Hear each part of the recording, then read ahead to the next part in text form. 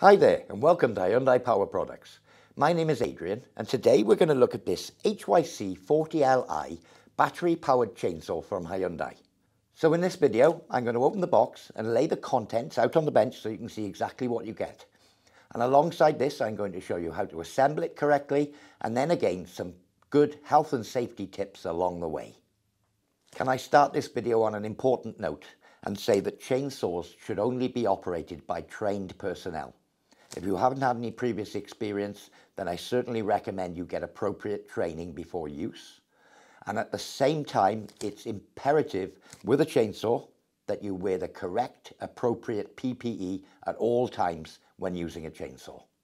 So I've laid everything out on the table here for you to see.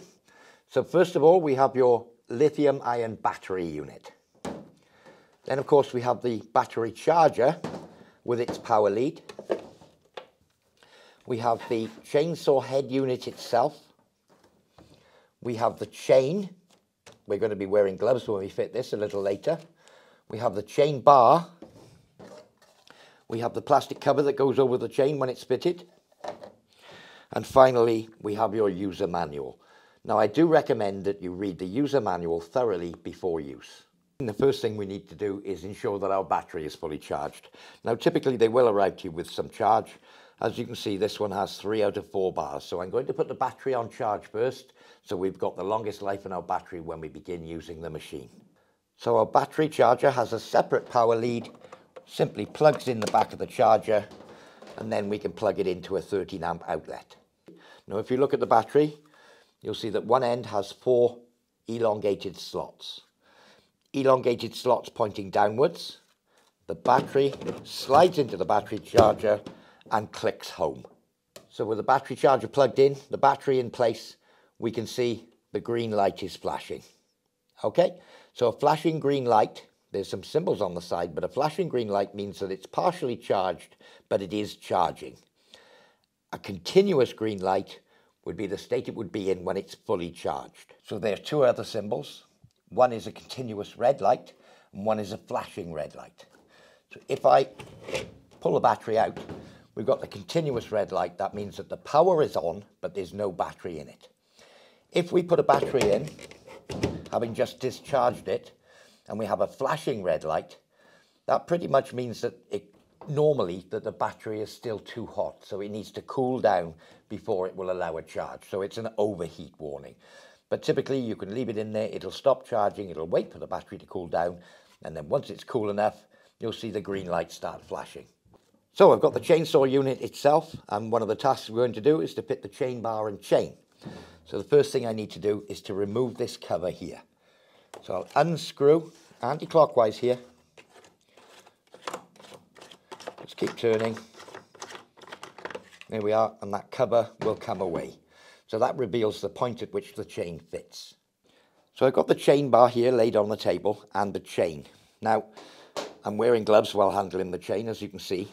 So the chain has uh, one direction it can go onto this chain bar and one direction only, or certainly onto the chainsaw. The chain bar can go either way, but typically I would fit it with the Hyundai logo the right way up on the chain. So when we fit the chain bar, it's going to go in that orientation. Okay. So that said, the chain is going to fit around the outside of the chain bar in the groove and in the groove the whole way along. So I'll just get it started in the groove. And I've actually fitted this the correct way. Okay. So let me point out. The chain rotates in this direction across the top, around the corner, and back towards the saw. If you see this tooth here, this sharp tooth, the one that's on this face of the chain, it's got a long slope here with the hook and then just a 45 degree angle piece with a slight curve on this side. That would be the correct way around. So it will be cutting in this direction.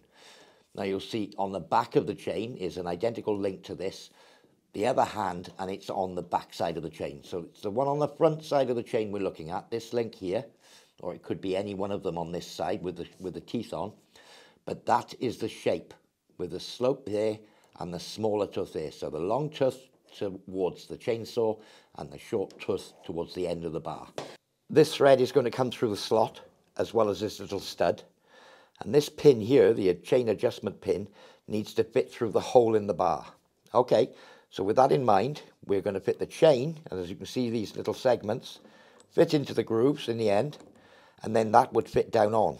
But as you can see in this instance, the locator for the chain tensioner is not fitting in the hole at this point. Let me just see if I can pull it a little bit. No, it's not going to fit. So we need to adjust that pin. And as I can see from this, the distance is about eight millimeters back from that stud. So I'll just remove that again. And as I'm looking at it now, it's actually in line with that stud. So I'm going to need to adjust it slightly backwards. So to move this pin, we have the adjustment knob here. Anti-clockwise is to slacken the chain, clockwise to tighten.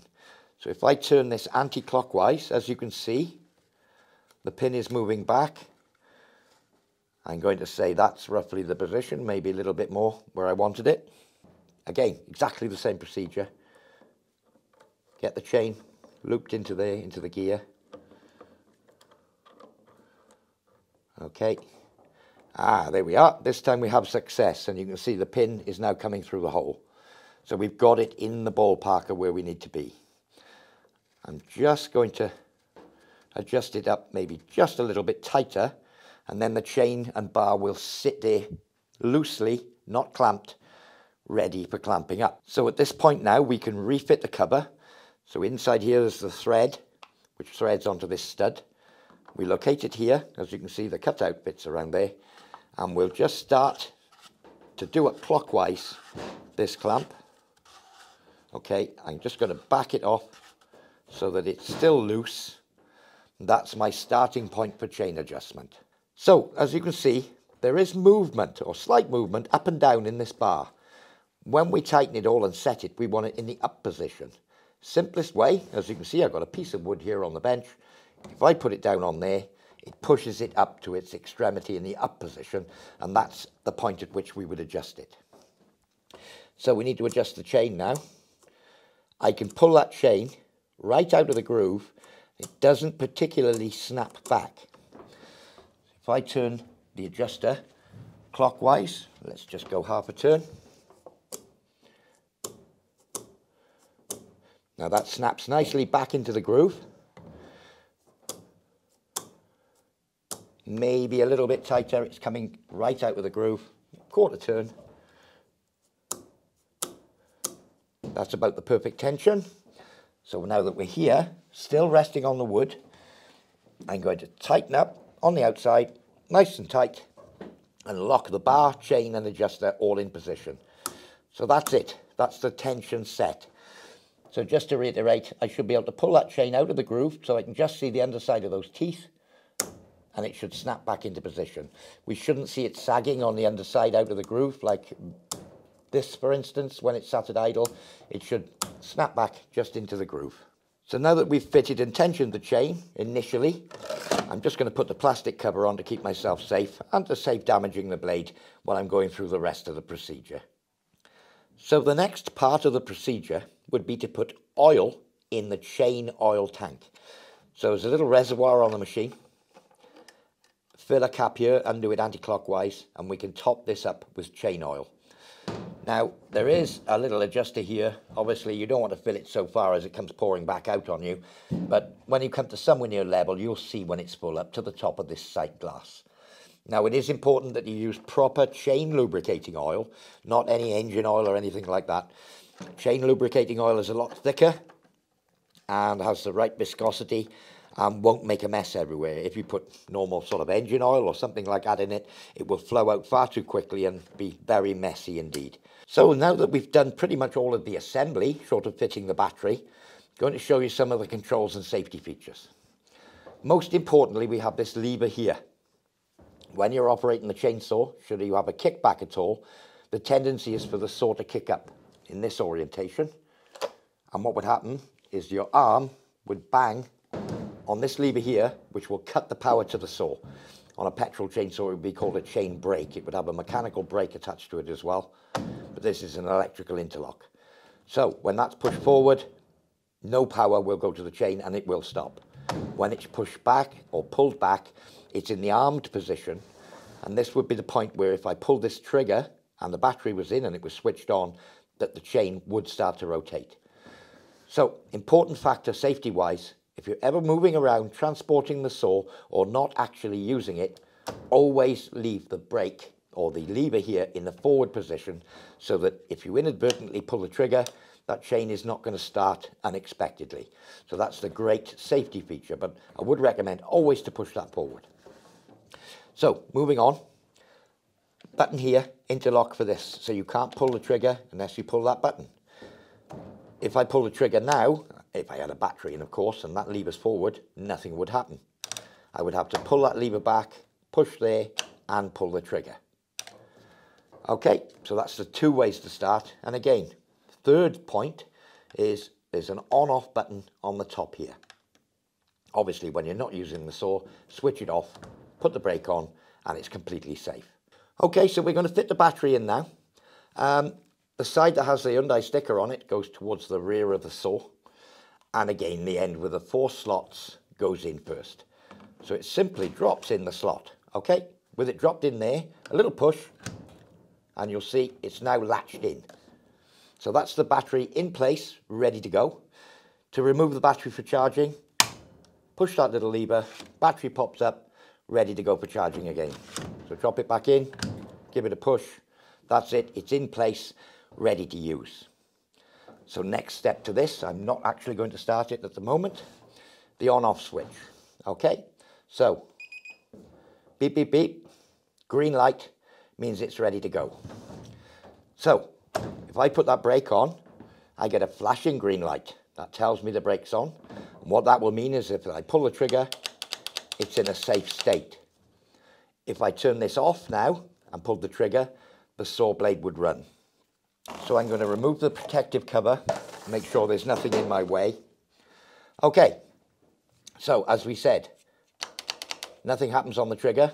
If I pull that guard back and pull the trigger, the chain will run. Yeah? If I let go of the trigger, the chain will stop. Okay, so what I'm going to do is do a quick test to make sure that this interlock is working correctly. So I'm going to start it up, bang the switch, and it should stop, even though I'm still holding onto the trigger. That's operating correctly, and the green light has gone to flash. So that's a quick safety check to make sure that the safety features are operating before we commence work. So I should be able to, doesn't work, pull it back, yes, and when I push that lever, it should stop even though I'm still got hold of the trigger. Okay, I'm happy that that chain is operating correctly. The chainsaw and the safety features are operating correctly. I'm just going to switch it off now by pushing and holding the button till the flashing light stops.